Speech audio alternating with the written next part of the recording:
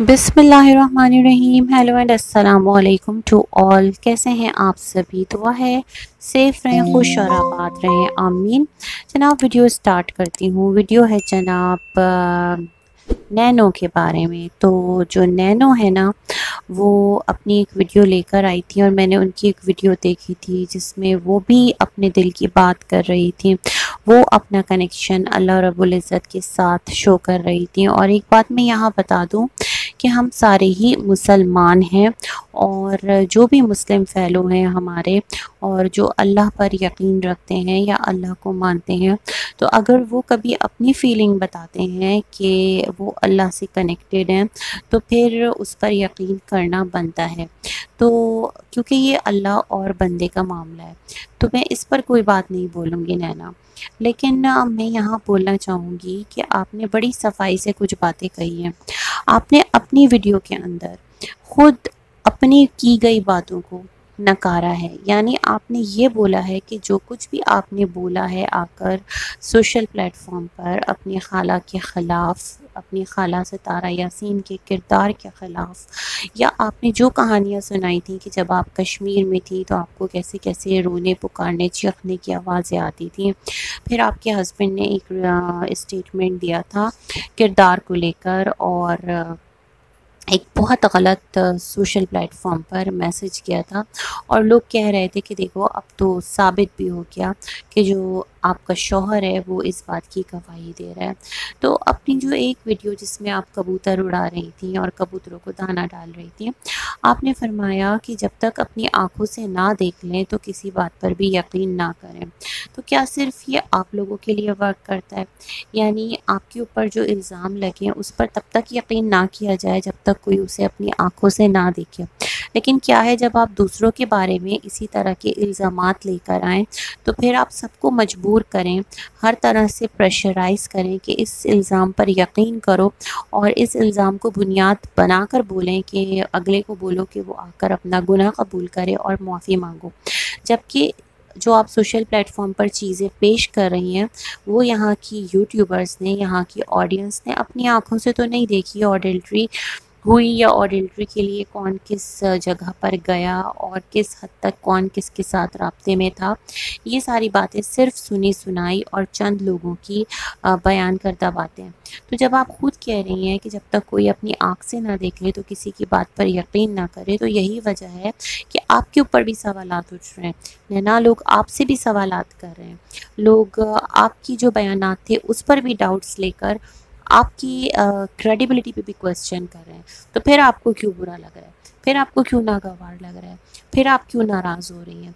एक तरफ़ कहती हैं कि आपने अल्लाह पर छोड़ दिया है सारे मामला। दूसरी तरफ़ जो आपके हस्बैंड हैं, उन्होंने भी अपना एक रिएक्शन चैनल खोल लिया। खैर, सबकी मर्ज़ी खोलें रिएक्शन दे रिएक्शन लेकिन मैंने उनकी एक दो वीडियोज़ देखे थे, जो उन्होंने अनूशे से रिलेटेड बनाई थी। और बड़े ही वाहियात इशारे थे। कुछ अपनी टांग पे दानों की बातें कर रहे थे, कुछ फिंगर्स दिखा रहे थे। क्या है ये सब? आप लोग किस ट्रैक पर लेकर जा रहे हैं? आप लोग तो खुद सोशल प्लेटफॉर्म पर बेहयाई फैला रहे हैं। आपकी जो सितारा खाला है, उसके चैनल पर ऐसा कोई वलगर कंटेंट नहीं है, लेकिन आपके हस्बैंड के चैनल पर है। तो मोहतरमा, आप ये बताएँ कि जब आप ये दर्ज दे रही हैं कि आपने अल्लाह पर छोड़ दिया है तो आप अपने शोहर मोहतरम को समझाइए कि क्योंकि आप अल्लाह पर छोड़ चुकी हैं, इसलिए तुम भी चुप हो जाओ। लेकिन ऐसा नहीं है। एक तरफ़ आप बहुत स्वीट बनती हैं और दूसरी तरफ़ आपके जो हस्बैंड हैं, वो अपनी ज़बान का, अपने इशारों का बहुत गलत इस्तेमाल करते हैं। तो ये कौन सा तरीका है बात करने का? पहली बात मैं यहाँ आप दोनों मियाँ बीवी से एक चीज़ पूछना चाहती हूँ। आपकी फ्रेंड्स हैं नैना ठीक है ना? कोई भी हो, औरत हो, लड़की हो, अधेड़, उम्र हो, यंग हो, वो औरत आपकी फ्रेंड है, लड़की आपकी फ्रेंड है। आपके मियाँ से इतनी ज़्यादा क्लोज क्यों होती हैं? आपके मियाँ से इतनी ज़्यादा फ्रेंक क्यों होती हैं? आप अपने मियाँ को लेकर अपनी फ्रेंड्स के झुरमुट में हर वक्त क्यों बैठी रहती हैं? क्या आपको एहसास नहीं है कि ये चीज़ें हमारे लिए रिलीजियसली भी गलत हैं और सोशली भी गलत हैं? एक तरफ़ आप अगर ख़ुद को बच्चा समझती हैं और आप ये समझती हैं कि अपनी आप चार पाँच सहेलियों को ले आई हैं और अपने मियाँ के साथ बैठकर आप छम छम छम खेलना शुरू कर देंगी और मेरा वज़ीर कौन? जी हुजूर, ये सारे गेम खेलेंगी। चोर सिपाही का पता लगाओ। तो इस तरह की जब आप हरकतें करेंगी और आपके शोहर भी उसमें मुलविस होंगे और हम देखेंगे कि आपकी फ्रेंड्स आपके घर पर दंदनाती फिरती हैं और ज़ाहिर सी बात है कि मर्द और ख़वान में एक डिस्टेंस होना चाहिए। अच्छा हमने सितारा की, घर पर सितारा की फ्रेंड्स को आज तक नहीं देखा कि सितारा की कोई सहेलियाँ आई हों और इस तरह झुरमुट लगा के सितारा के साथ बैठी हों। आप रिश्तेदारियों में देखिए, लेकिन नैना आपके केस में क्या है, आपकी सहेलियों का गोल आता है। पहले आपकी कुछ और दोस्ती थी, अब आपकी कुछ और एक नया गोल आया है और उस गोल को लेकर आप अपने घर में दंदनाती फिरती हैं, अपने शोहर को भी साथ खींचती फिरती हैं। तो दोस्तें आपकी हैं, आप उनके साथ ताल्लुक रखें ना। अपने शोहर को बीच में क्यों लाती हैं? अपने शोहर के साथ क्यों दोस्तियाँ और पिंगियाँ बढ़ाती हैं? कोई किसी का भाई कोई किसी का बहन नहीं होता। तो अगर आप पर सवाल कर रहे होंगे तो फिर आपको भी जवाब देने होंगे। जबकि ये चीज़ अच्छी नहीं है नामुनासिब है। किरदार पर बात करना किसी के आ, पर्सनल इश्यूज़ पे बात करना। उस वक्त तक जब तक कि आप लोग खुद उसे सोशल प्लेटफॉर्म पर ना लेकर आएँ। लेकिन क्या है, आप लोगों की वीडियो से ये चीज़ बहुत ज़्यादा ऑब्वियस है, पहली बात। दूसरी बात, नैना, आपकी जो एक वीडियो थी कबूतर वाली, आपने उसमें अपने शोहर से बोला, तुमने कभी प्यार किया उसने कहा, नहीं। यानी आपने टॉन्ट मारा किसे? अपने खाला के आसमान की जो वीडियो थी उसको। तो मोहतरमा, आपके शोहर ने तो कभी प्यार ही नहीं किया। मीन्स वो आपके साथ भी सिंसियर नहीं है। वो बोलते हाँ किया है तुमसे। लेकिन उन्होंने बोला, नहीं। तो टॉन्ट मारते मारते आप अपना मज़ाक बनवा रही हैं।